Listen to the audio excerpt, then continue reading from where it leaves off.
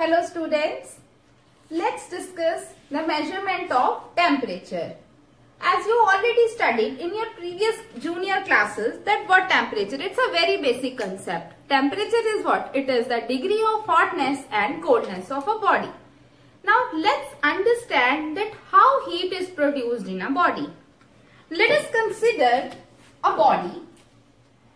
I have considered a body, right? So we have already, this body is matter. As we have already studied in our previous lecture that matter is made up of small particles. Consider that it is made up of very small particles. These particles may be atoms or may be molecules.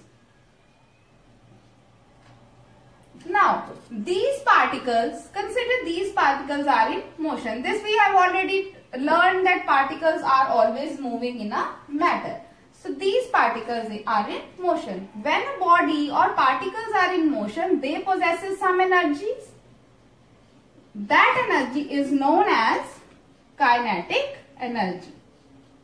Firstly, what kinetic energy is? When a body is in motion, it possesses some energy. That energy is termed as kinetic energy.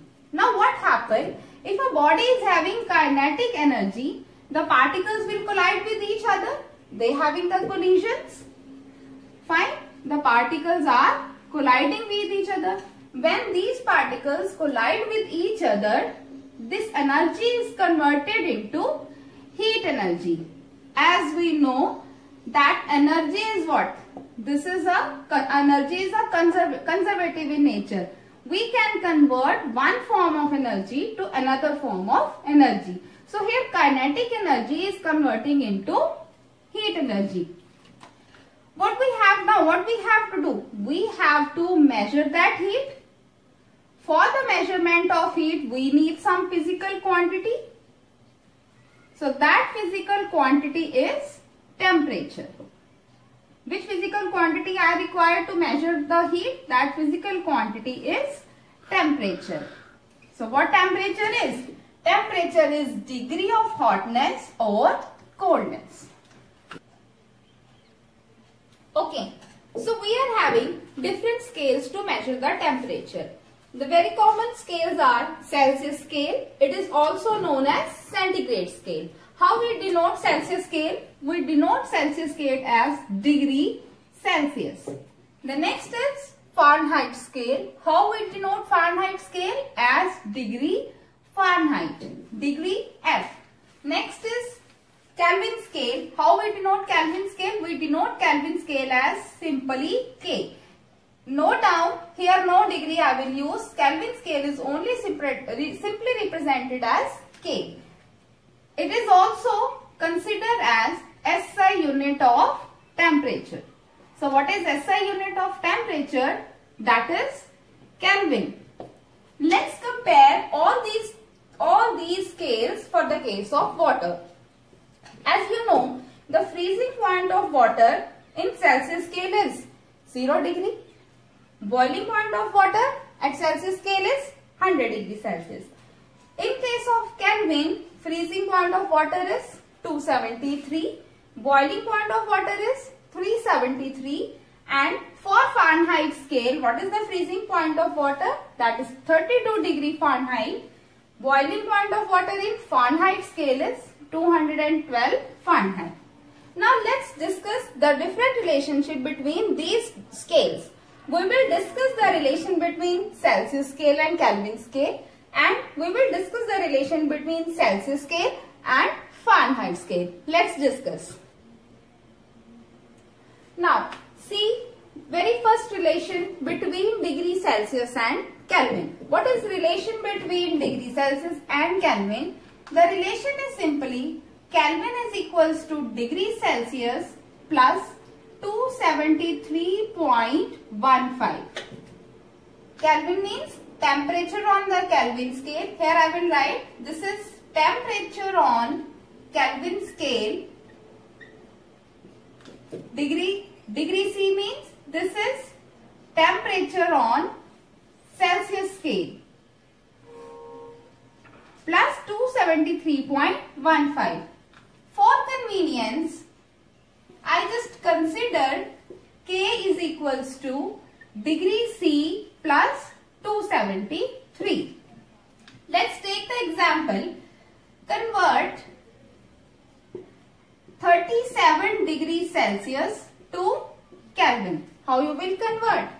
So firstly write down that is temperature on Celsius scale is that is given that is 37 degree Celsius. We have to find the temperature on Celsius Kelvin scale. Kelvin scale. So temperature in Celsius scale is given that is 37 plus 273. So what it will be? It will be 310. So for 37, it means 37 degrees Celsius is equals to how many kelvins? It is equals to 310 10 Kelvin. Okay. So note down this. Okay. So I hope everyone has noted down this one. Let's consider second example. Convert 400 Kelvin into degree Celsius. So what is given? Temperature on Kelvin scale is given to you. Temperature on Kelvin scale is 400 Kelvin. We have to convert it into degree Celsius. Use this relation. K is equals to degree Celsius plus 273. So degree Celsius is equal to K minus 273. Degree Celsius it is equals to in Kelvin it is given that is 400 minus 273. Subtracted what it will be? 7, 2 and 1. So it means 400 Kelvin equal to how many degrees Celsius? 127 degree. Now see what's Celsius. the relation between Celsius scale and Fahrenheit scale. The relation between Celsius scale and Fahrenheit scale is Celsius scale is equals to 5 by 9 in bracket Fahrenheit scale minus 32. Or in another word, if you want to change, you want to find Fahrenheit and Celsius, degree Fahrenheit, how you will write? This 9 will go this side. 9 by 5 degree Celsius plus 32. Okay, so tell me what is the room temperature? Yes, room temperature is 25 degree Celsius. What we have to do? We have to convert, okay, so we have to convert this 25 degree Celsius to Fahrenheit scale. How you will convert? Substitute the values here. Substitute, you can substitute value here. What it will be? Degree Fahrenheit is equals to 9 by 5. What is temperature given in Celsius scale? That is 25 plus 32. Do the calculation. That is 5. 9 5 is 45 plus 32. That is equals to 77 degree Fahrenheit. It means room temperature, room temperature in Fahrenheit scale is 77 degree Fahrenheit. You know the uh, body temperature? Yes. The body temperature is, I will do the example here. Body temperature is, second example I am taking. Body temperature is equals to 37 degree. In Celsius it is 37 degree Celsius.